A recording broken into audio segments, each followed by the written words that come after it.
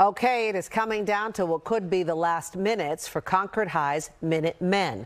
Outrage over the rifle-toting American Revolution mascot has been mounting, with many calling it outdated and out of step. NBC Bay Stephanie Magallon with the debate over a more culturally appropriate school symbol.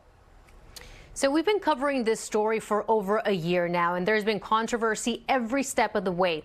Now there's a group of parents demanding the name stays, but with modifications. It's a historical symbol dating back to the American Revolution and it's Concord High School's mascot, Minutemen. Minutemen have a proud history.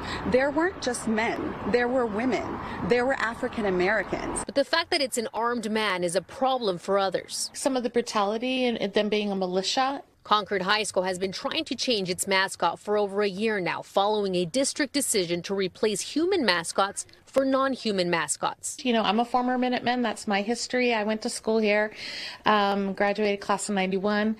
But um, I also want to make sure that we have a mascot that represents everyone. Last year, they were closing in on the crocodiles. That never went through due to transparency issues and a lack of student involvement.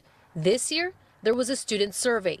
500 out of more than 1,100 students participated, and leading the polls are the Bears. Uh, out of the 500 that voted, only 190 voted for the Bears. Oh, yeah, you're right. So. Um, I don't think the students are excited about either. They were never given an option to, you know, make adjustments, make changes to the mascot to become more inclusive. These parents have been speaking out against the change for months. They believe the mascot measure adopted in 2021 gives schools the option to change their mascot.